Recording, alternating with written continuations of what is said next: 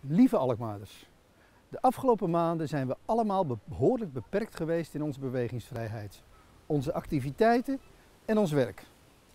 Met ingang van 1 juni worden de noodmaatregelen in de bestrijding van het coronavirus verder versoepeld, maar niet allemaal teruggedraaid. Vanaf 1 juni mogen restaurants, cafés, bioscopen en culturele instellingen zoals theaters de deuren weer beperkt openen. Ook de regels voor verpleeg- en verzorgingshuizen worden versoepeld. Dat is goed nieuws. En dat komt natuurlijk door de positieve ontwikkelingen rondom de verspreiding van het coronavirus. We hebben dit voor elkaar gekregen door ons goed aan de maatregelen te houden.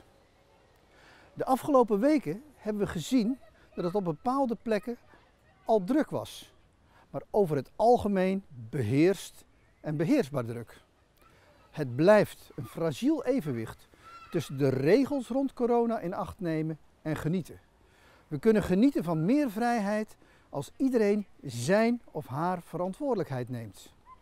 Zorg er alsjeblieft met z'n allen voor dat we ons aan de afspraken houden.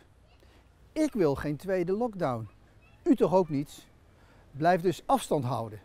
Vermijd drukke plekken en blijf gezond.